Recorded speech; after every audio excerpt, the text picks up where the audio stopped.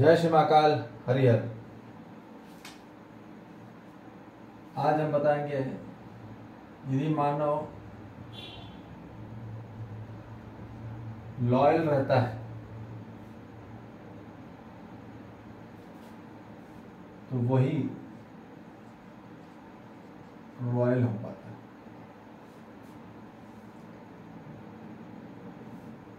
Be loyal and get royalty.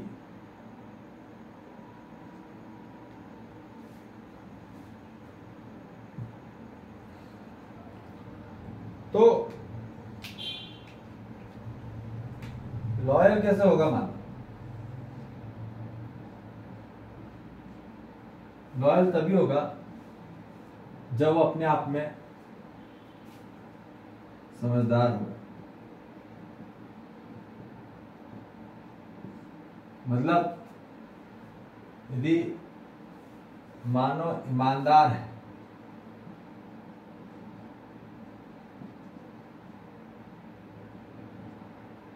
ठीक है, तभी वो रॉयल हो पाएगा। श्रेष्ठ। श्रेष्ठतम हो पाए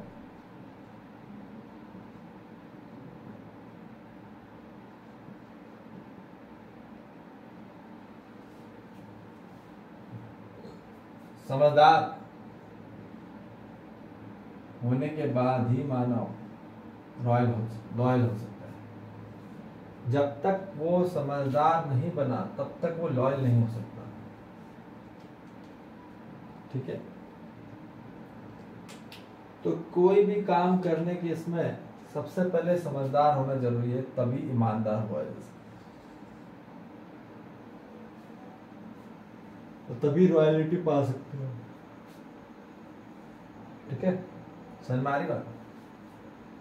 तो ईमानदार होने पर मानव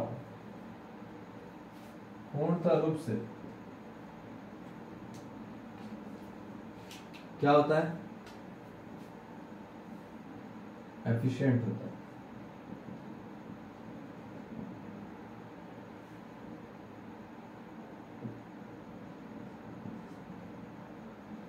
और एफिशिएंट होने के बाद ही मानो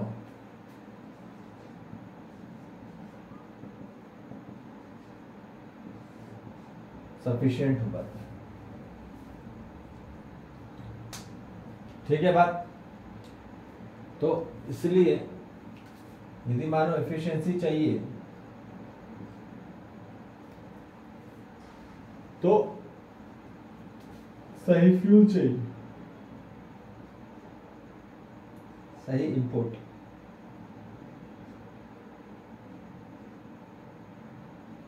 the real and the right fuel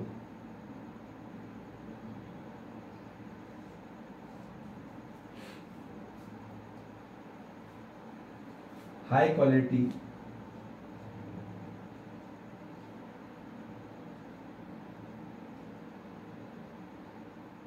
Fuel means high quality performance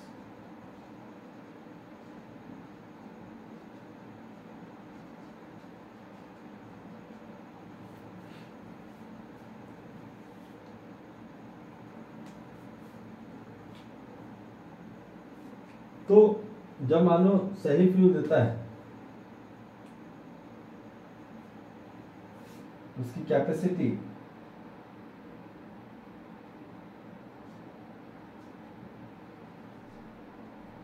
high version capacity हो जाती है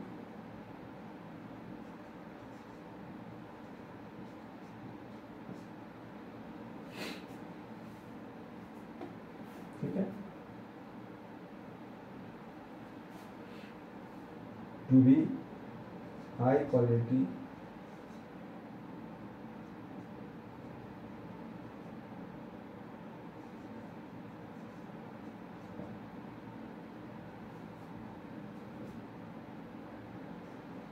load generate high quality bearing capacity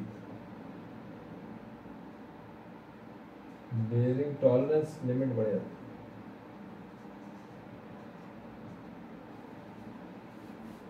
ठीक है बात समझ आ रही है। तो मानव को जब तक पूर्णतः रूप से, ईमानदारी का मतलब है, ईमानदार ईमान जहाँ ईमानदार मतलब पूर्णतः रूप से भक्ति। साधक।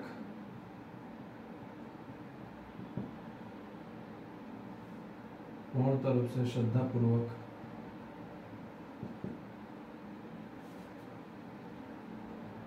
भक्ति पूर्वक साधक पूर्वक श्रद्धा पूर्वक और समर्पित होके। भक्ति मतलब पूर्णतः रूप से ये क्या होता है समर्पण, समर्पित।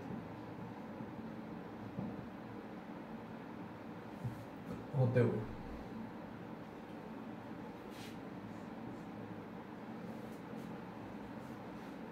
ठीक है, बात।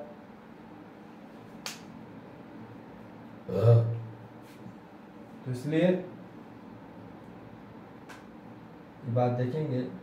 यदि मानो कोई भी ईमानदार है अपने कर्म के प्रति धर्म के प्रति। ठीक है ना? तो धर्म ही उसका कर्म बन जाता है। धर्म ही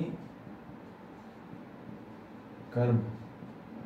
जो उसका धर्म बोलता है, वो इसका कर्म बन जाता है धर्म जो बोलेगा,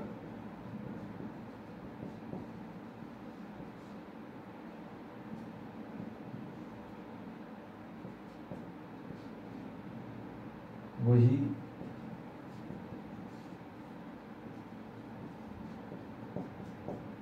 करेगा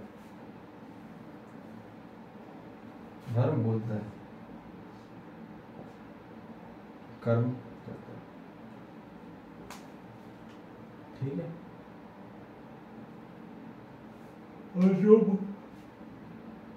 धर्म जो करेगा वही बोलेगा।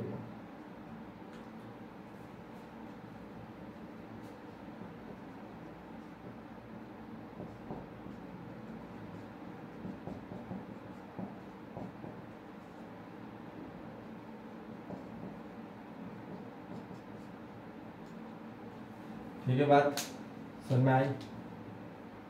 इसलिए आदमी रॉयल मतलब luxury.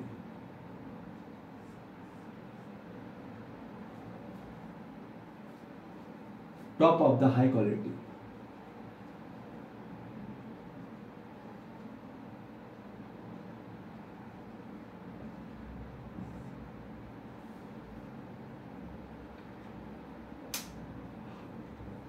तो यह कहाँ से प्राप्त होती है? मानव जब पूर्णतः रूप से अपना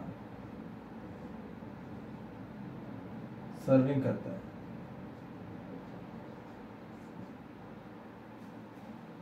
है? सेवा करता है।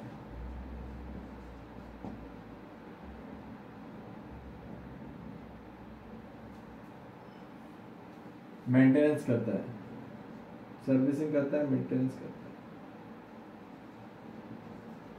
ऑपरेशन करता है।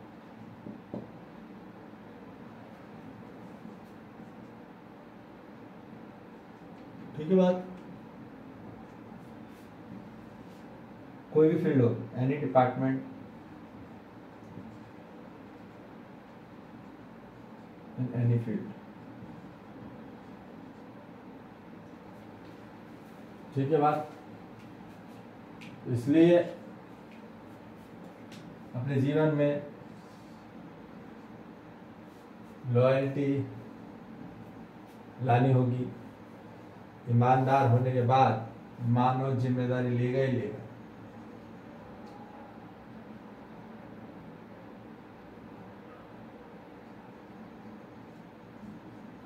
इसके बाद ही जो रिस्पॉन्सिबिलिटी लेता है, और रिस्पॉन्सिबिलिटी लेने के बाद जो पार्टनरशिप करता है भागीदारी।